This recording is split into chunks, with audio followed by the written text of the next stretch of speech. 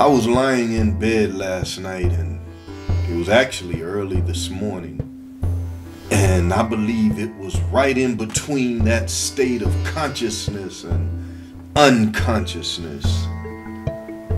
And I believe that God was speaking to me and I woke up. I became consciously aware of God saying to me, May your sores become your source.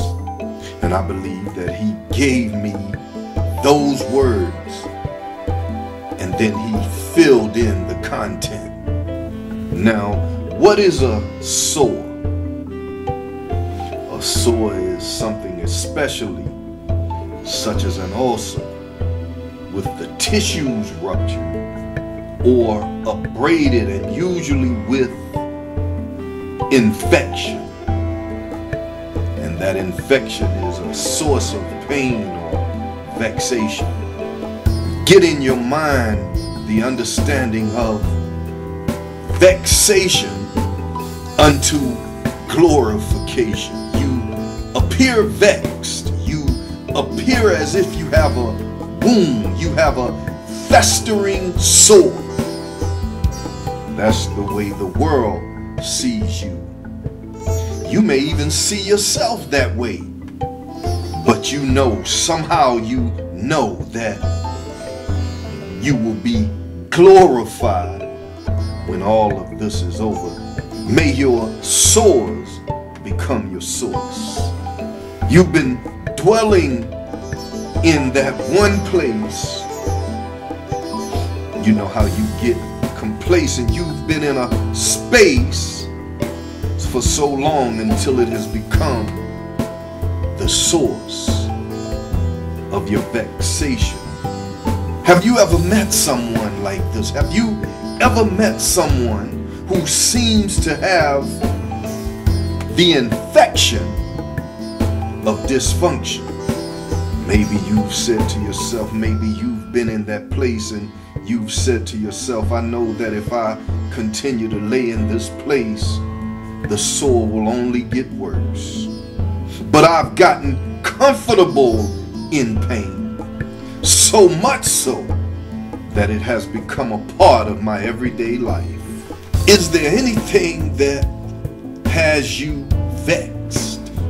And vex means to shake up or toss about. It also has that meaning as if you are being tossed about by every wind, every storm, every breeze. It just seems like you are unstable. I know you won't believe this, but the thing that has come to cause you pain, the situation that has caused you to toss and turn has good in it.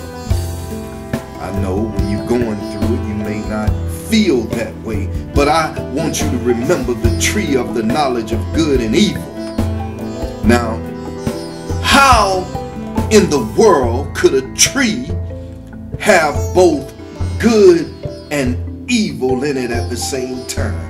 But I want to ask you, how will you allow the tree to affect you? What effect will it have on you? Or will you affect your tree? Your vexation comes from you getting to a particular point where a decision has to be made. And as you know, I like to go to the book of Genesis. I like to deal with Adam and Eve. I believe that there's still some low hanging fruit in the garden that we hadn't plucked yet. I believe that there's still some more meat in the book of Genesis. How could good be in the same place where there's bad?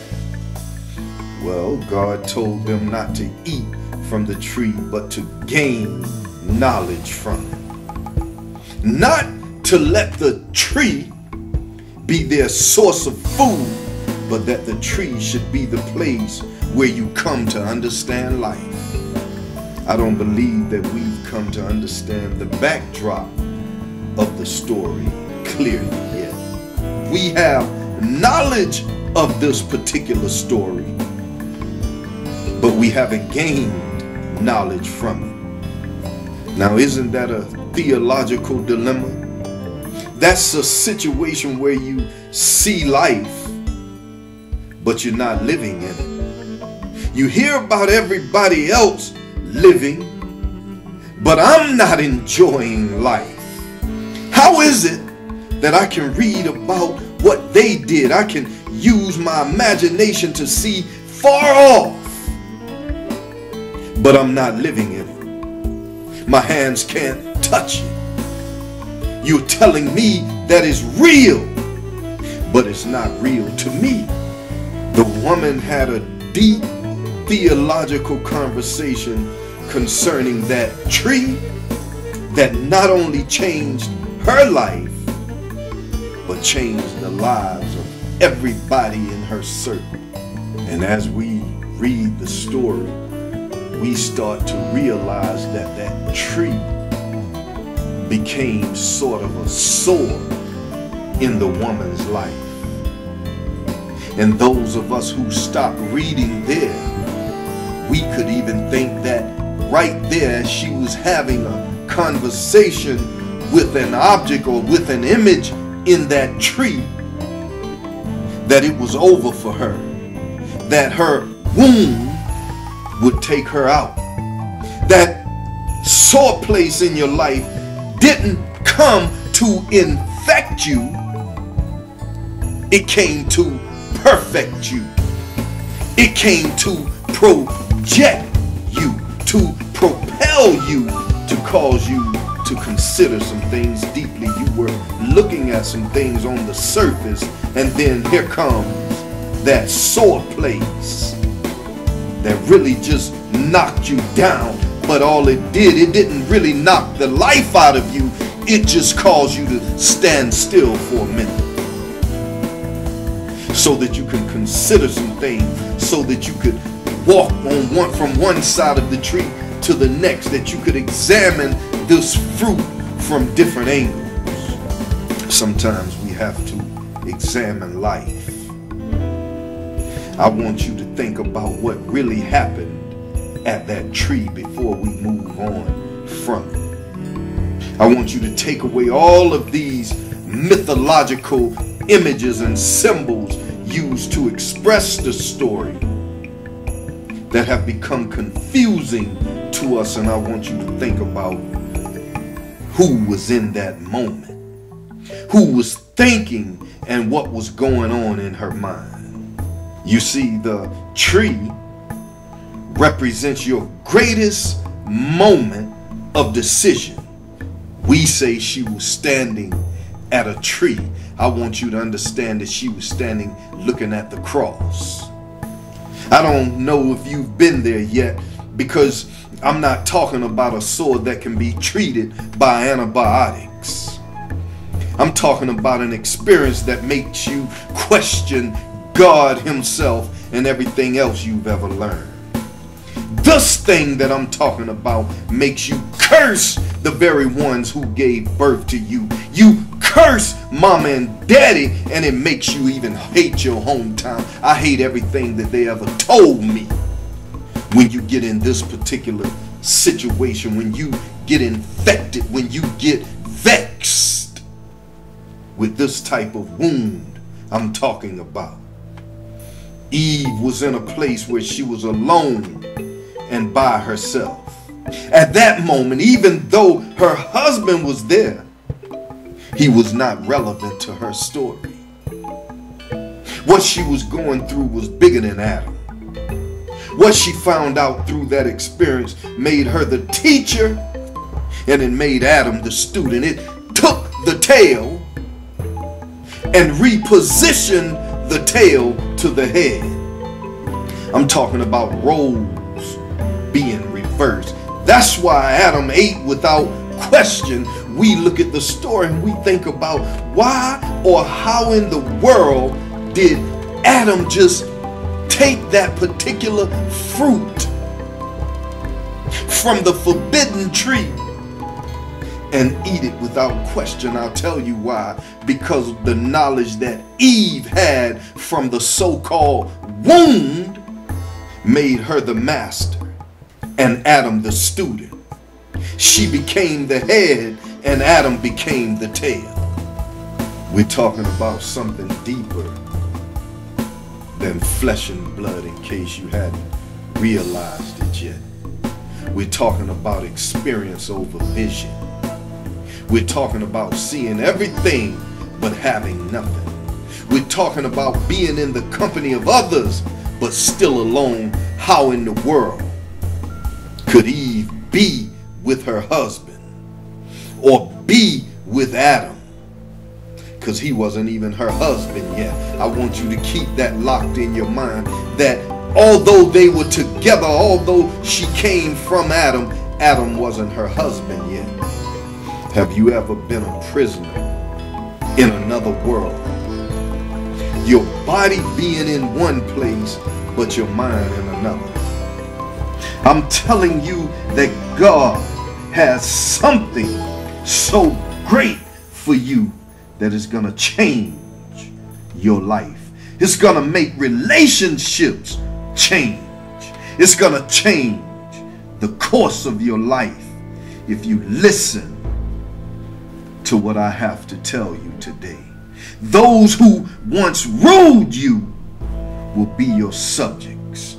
Those you used to follow will now look to you for direction. And that's what happens when your soul, the very thing that vexed you, becomes your source. You know, sometimes we don't take the time to imagine and really understand what was going on between the first representatives of life, Adam and Eve, were the first representatives of life, not that they were the first ones on the planet, but because of this story and how it was compiled, they are the first representatives of life on earth. Adam and his wife Eve. We hadn't understood yet what was going on. What could have caused Eve to be right there with her husband, but alone. We see this story through symbols and images, blinded by the symbols and confused by the images. But the message hasn't spoken to us in a way that we can understand the woman's vexation. We're talking about apples and oranges. As a matter of fact, we're not even comparing apples and apples because we talking about apples and serpents and trees. But the actual message is about having the ability to see everything but unable to touch anything.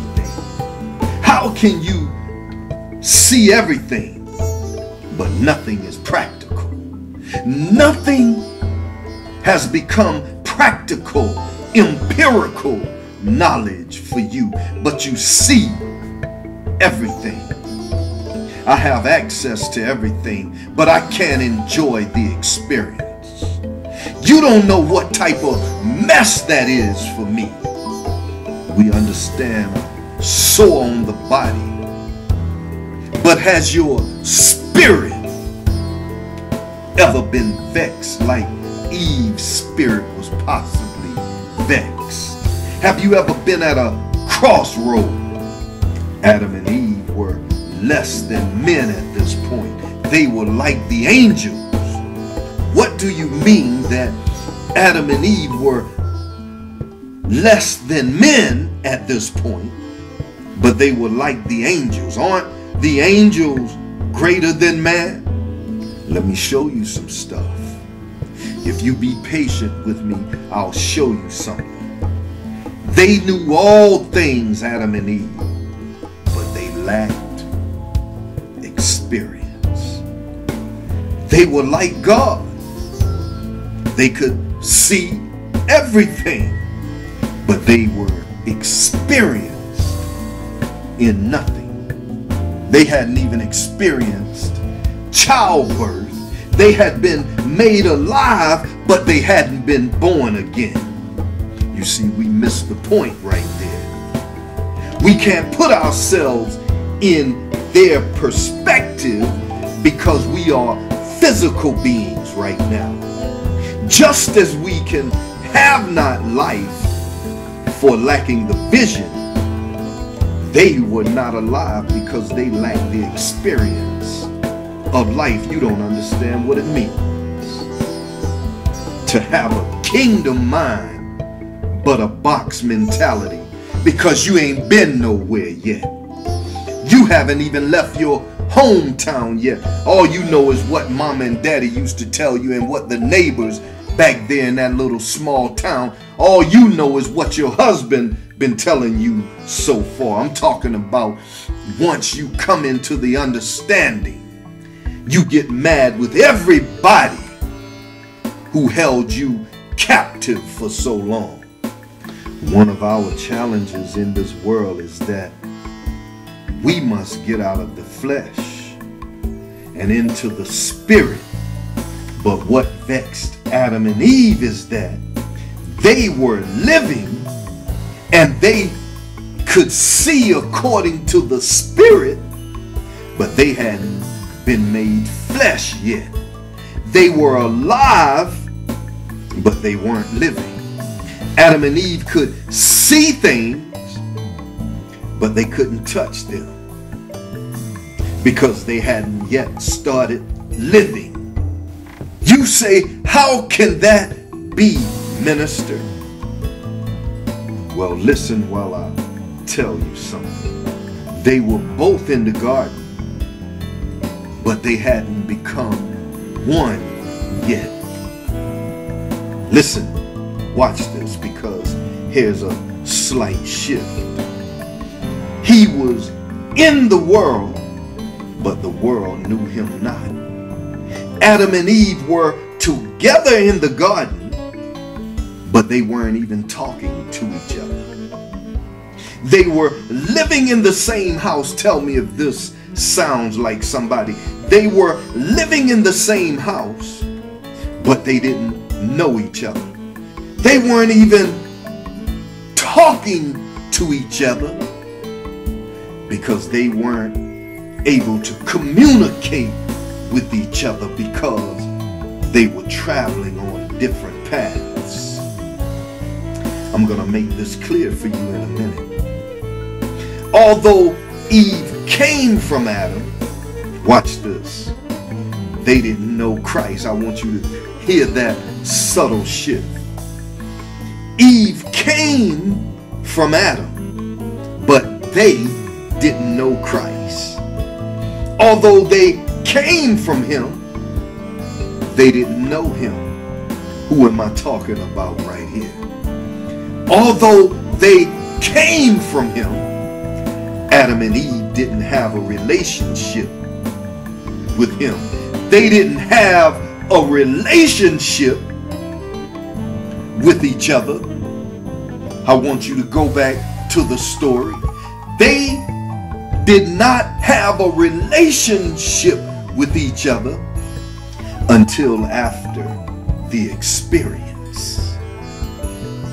That's when they fell in love.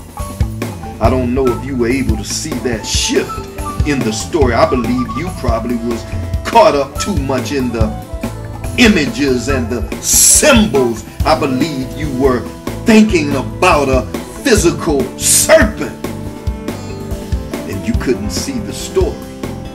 You didn't recognize that the man had been calling the woman only the woman. He didn't even know her name until after the experience. I want you to go back and read your story and see if I'm telling you something that's not true. Watch this. Adam and Eve didn't even have love until after the experience. That's when they fell in love and started having babies. I know you missed that point, but that's why I'm taking it slow for you because I want to reteach you this story. That's when Adam stopped calling her the woman and he started calling her Eve. Isn't that how it happens? You might know your particular mate by one name when you first meet them. And then once you get to know them fully in ways that no other man or woman knows that person, you can call them by some special names. And that's exactly why I'm telling you what I'm telling you. Because before the experience, Adam didn't know that Eve was walking around with a kingdom in her. Eve had a city in her mind, but her husband was causing her to live in a tree house. Adam had the two of them in a situation where Adam was telling Eve that they had everything. Baby, we have everything. What else could you possibly want? And Eve was telling Adam that we don't have nothing. You haven't looked at the story clearly. I know that there had to have been an argument going on because Eve found a complete stranger to talk to who could understand her. Eve called up Mama. Eve called up one of her friends, Eve went to the tree instead of to her husband. Maybe she had already been trying to talk to him on a higher level, but he was listening, but he couldn't hear. Eve had transcended Adam's understanding and he and she had confused and frustrated Adam because Eve had a city in her. She had a kingdom. She was kingdom minded, although we thought she was wounded. Have you ever been around someone and they were trying to make you satisfied with a little bit? They were bragging about living amongst the trees. The reason I'm telling you that Adam and Eve were living amongst the trees is because I don't believe Adam and Eve had a house.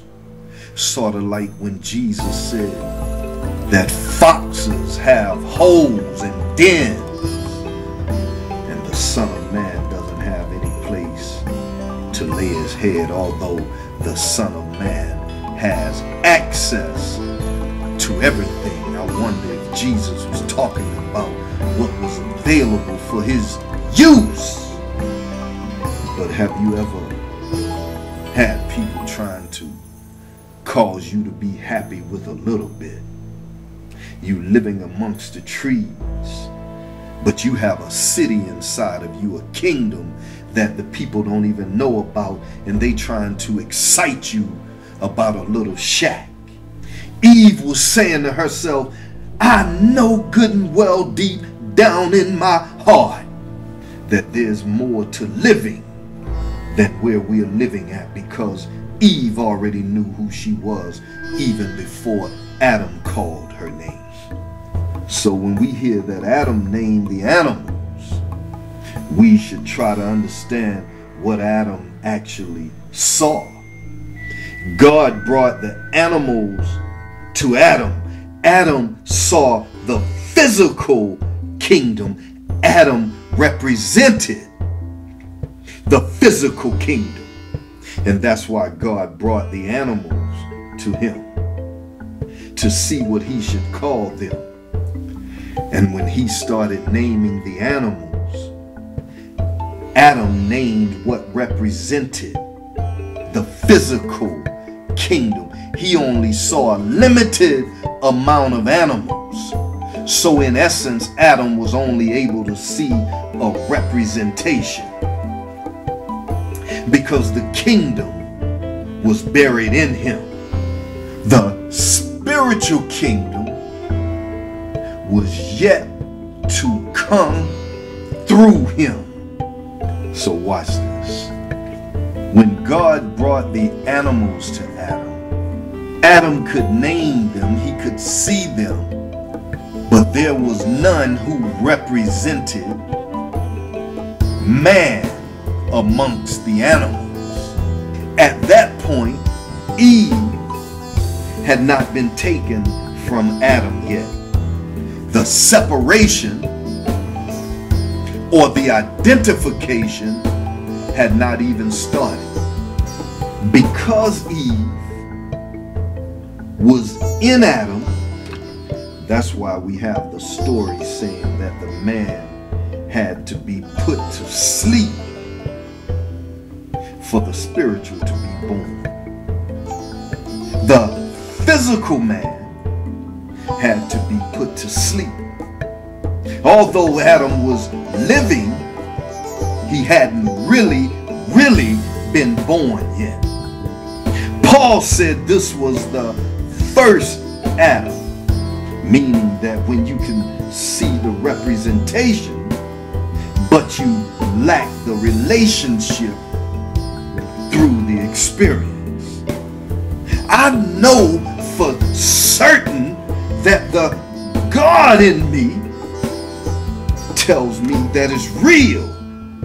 But what's confusing me is the earth man has to touch it. I have to be able to live in it, Adam. I know that there's a city in me, but without the experience, I feel like I'm living like the animals. Adam Eve is saying, I live in the world, but I don't even know about life. And although where you have positioned me and what you are able to provide me, although this is good, we have all kinds of animals living out here. I need so much more than just this life that you can offer me. And so if we get back into the reading of the story, we'll see that Adam named the animals. He named them according to what his eyes could see.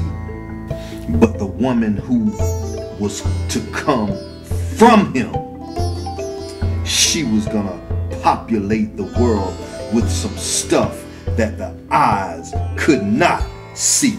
Adam identified those things which were already.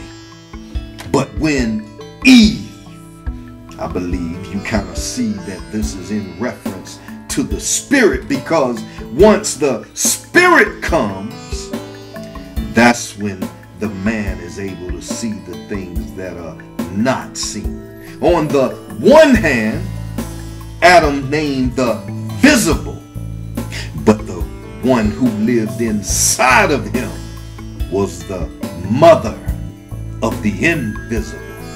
So we might even go as far as to say that Adam named the animals, but God named the woman. How in the world could it be that I'm telling you that God named the woman when the Bible clearly says that Adam called the woman Eve. Well, let me show it to you. I don't mind showing it to you. I don't mind if you think I'm off course. And then later on you find out that I had a plan all the while. I was never off track.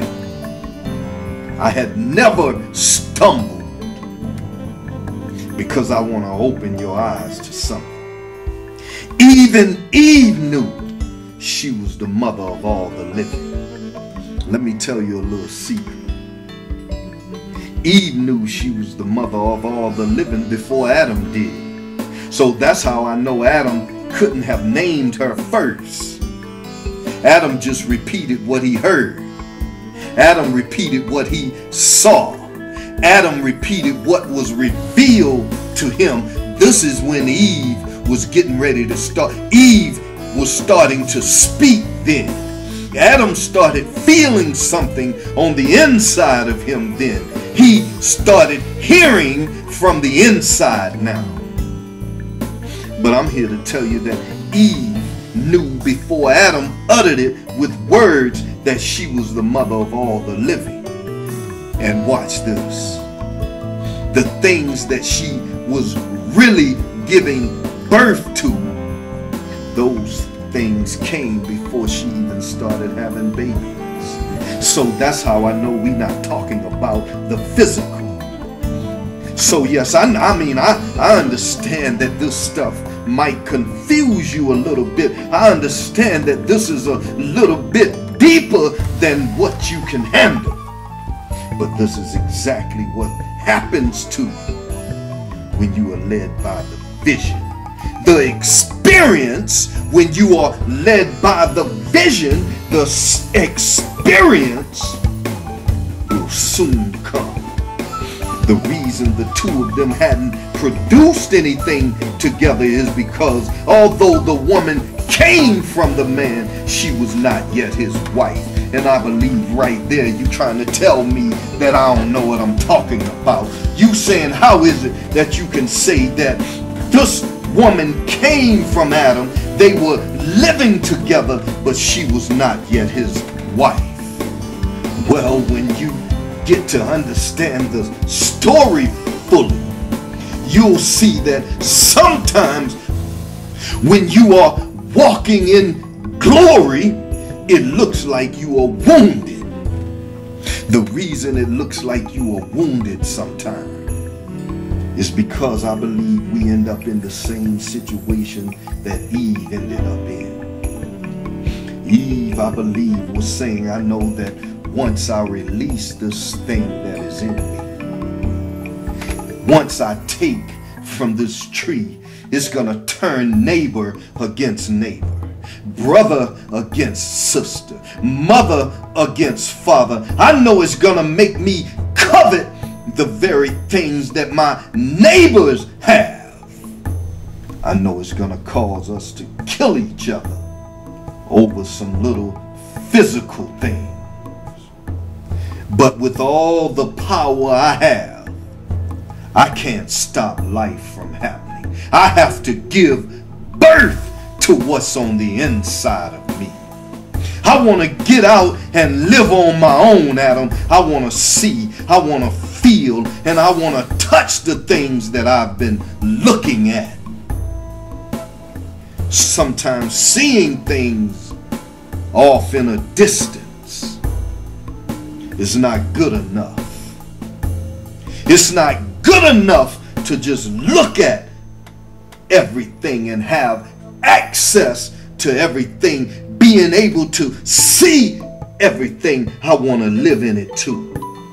And so she took a bite and then she gave Adam a taste of that physical stuff. She gave Adam a bite of the world that was living in her. And after he took a bite, that's when they became one. I believe what I'm getting ready to say here will make the hair on the back of your neck stand up. But when Eve ate from that tree, the story has Adam and Eve becoming one. But I want to tell you the deeper at that moment, the actual joining together, you have to listen to this. I'm telling you, the hair on the back of your neck is going to stand up. You might get offended before you get educated. You might get upset before you get liberated. You may even stop listening to the video when I tell you this that the two who became one at that point superseded the man and the woman who were the symbols of this higher knowledge. But the two who became one was God and man. Glory, hallelujah. This is the point where God and man became one. The spirit and the flesh became a living being. This is where the God man was born. Adam and Eve were just characters used to relate to our physical understanding. You know, these people who told these stories were spiritual people, and they knew that they would be talking to carnal minded people. And so they used the union of man and woman, husband and wife, to talk about the spirit and man, the spiritual things and the carnal things coming together. The authors of the story of Genesis were concrete thinkers. They didn't understand abstract thought. So they used physical symbols and images to describe ethereal and corporeal or tangible. So what's being identified here is the union of those physical things with what is unseen. And the two became one in the God man. If you don't believe what I'm telling you, I want you to go back and read the story for yourself. God said the man has now become like one of us. But we don't even read that sentence right. Because we've been blinded by the image. The man has become like one. The man has become one of, meaning he comes from us. Man has become one with us. Jesus said it all the way in the New Testament. Jesus said, God is with us. I'm telling you, we've been blinded by the image. We have become one in Christ. If you give me a little bit more time, I'm going to explain to you the deception of paradise and then I'll close this out. So, we often wonder how it is that Adam and Eve could be kicked out of paradise. How is it that they could not dwell in paradise? So I'm going to explain to you the deception of paradise without the And if I explain this to you, then you'll understand the fall. Well, paradise is living in a vision without the effects of the nuances. So, in a sense, without the nuances of life, without the experience, you were just going through the motions. You were able to see the entire picture, that's true. But you missed the process of how the image was formed. You admire the picture, you admire the painting of the artist, but you don't know the process of bringing the actual picture to life. You don't know what all it took for me to produce this masterpiece. You are admiring the writing on the wall. But you didn't have to go through the process. So it's almost like you just going through the motions when you are living in paradise, but you've never had the experience that it takes for you to actually live there. And so that's how Adam and Eve fell because they didn't go through the nuances of life. You have to go through the process in order for you to understand life. You go through the process so you can be called up higher to paradise. So you admire the pain. And you don't even understand its value because you can't even contemplate the price of the process. There's some certain things that you can't even fathom when you start trying to think about how the image was formed, how this image that we are reading in the Bible, how God was able to say that the man has now become one of us. You can see it all, but you can experience none of it. Having access, but it doesn't belong to you. We can't understand why they did what they did in. When you have access to everything, I want you to get this before I go. When you have access to everything, nothing exists. You're not really, really hearing what I'm saying to you. You may be hearing, but I don't know if you're able to listen to this. I need you to stop doing what you're doing for a second and pay attention to this so you will hear me talk about God. Stop moving around. Stop washing dishes. Stop clapping your hands. Stop stomping your feet. Stop talking and listen to this. I'm getting ready to talk about God right now. I want you to hear me talk about God, and it all is going to take me as a second. When you have access to everything, I'm telling you, nothing exists. When you have everything, nothing matters.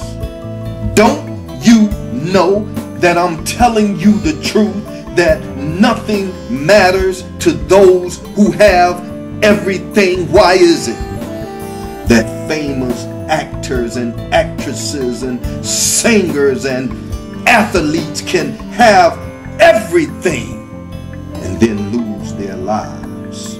How can you be miserable with everything? Let me tell you something. That's why the angels were questioning God about man why or how could you give them what you gave them? You didn't even give that to us. I'm talking about God now. That's why Adam and Eve did what they did. Because it's not until you can lose something that everything else that you have matters. Why is it do you think that millionaires don't start appreciating things until they start losing some things. What I'm talking to you about today is not about two people in a garden. What I'm talking to you about today is God living in man. I want to talk to you about God becoming man so that man could know God. But I don't believe that you will understand that. I don't believe that you could process that. So I won't talk to you about it that deep on that deep of a level. But I'll just tell you about when God joined himself with man so that God could have man's experience. How in the world could the man and the woman live in paradise and experience hell? Because paradise is hell without the. You only living with a vision of all of these things. But like the angels, you can't touch anything. We don't even understand fully what God has done for us. We have been glorified, and by the experience, we are greater than the angels because we have been glorified. Without the experience, then glorification doesn't even exist. And that's what separates us from the angels. And that's the very reason why the Bible calls us gods, is because of the experience. God himself knows that you could be living in paradise, but if you take away the experience, we would feel like we are living in hell. You can see everything, but you can't enjoy nothing. I know you thought that was just bad grammar by me saying that you can't enjoy nothing. But I'm telling you that you can't enjoy having nothing. So that wasn't a typo. That wasn't bad grammar. But what I'm telling you is that if you're going to enjoy something, then you're going to have to experience something. And if you don't have anything to experience, then you can't enjoy what you don't have. If I felt that you would be okay with it, I'll tell you why God created everything. Even God doesn't enjoy nothing. So if your religion tells you to be happy with nothing, you are listening to the devil. If your religion, I want you to hear this again and again, I have to go. But if you are listening to some religious tongues that are telling you to be happy with nothing, than you listening to the devil. Because it is the devil and the devil only who has taken everything from man. In Jesus' temptation, we read that the devil could show Jesus all the kingdoms of the world, but he could give him nothing. That's what's going on in the garden, even to this day. The vision and the experience hadn't been joined together yet. When you have the vision and all you have is the vision and all you can do is see it, but have not the experience, then it feels like you are living in hell. Everybody else see you as in paradise, but you yourself, you feel like you in hell because your paradise is preventing you from living because you see all of this stuff. Adam and Eve, but they hadn't lived without what happened at that tree. They hadn't yet been wounded so they couldn't be glorified. You have on the one hand the experience without vision. You have hell. It's not until God's vision is joined with the man's life that you really start living. You don't understand what I'm saying to you. Even though I'm taking it slow for you. It's only in the Christ man that the vision and the experience comes together.